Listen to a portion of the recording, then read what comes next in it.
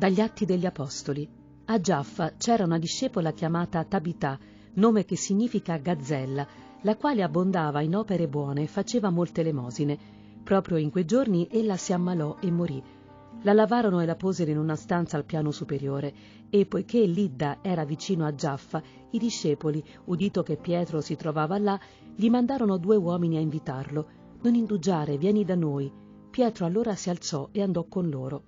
Appena arrivato, lo condussero al piano superiore e gli si fecero incontro tutte le vedove in pianto, che gli mostravano le tuniche e i mantelli che Gazzella confezionava quando era fra loro. Pietro fece uscire tutti e si inginocchiò a pregare. Poi, rivolto alla salma, disse Tabità, alzati. Ed ella aprì gli occhi, vide Pietro e si mise a sedere. Egli le diede la mano e la fece alzare, poi chiamò i fedeli e le vedove e la presentò loro viva. La cosa fu risaputa in tutta Giaffa e molti credettero nel Signore.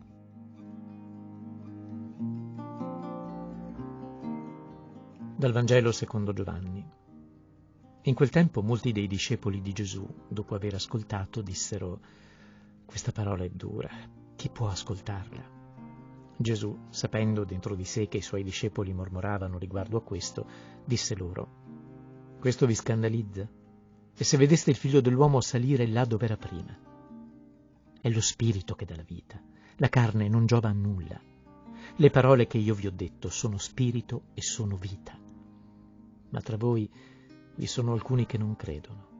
Gesù infatti sapeva fin da principio chi erano quelli che non credevano e chi era colui che l'avrebbe tradito.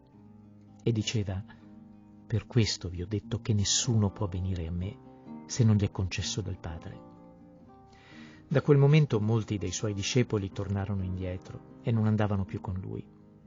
Disse allora Gesù ai dodici, Volete andarvene anche voi? Gli rispose Simon Pietro, Signore, da chi andremo? Tu hai parole di vita eterna e noi abbiamo creduto e conosciuto che tu sei il Santo di Dio. Il problema di fondo non è andare e abbandonare l'opera intrapresa, ma è da chi andare. Da quel interrogativo di Pietro noi comprendiamo che la fedeltà a Dio è questione di fedeltà a una persona con la quale ci si lega per camminare insieme sulla stessa strada. E questa persona è Gesù.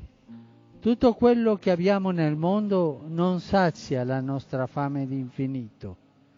Abbiamo bisogno di Gesù, di stare con Lui, di nutrirci alla sua mensa, alle sue parole di vita eterna.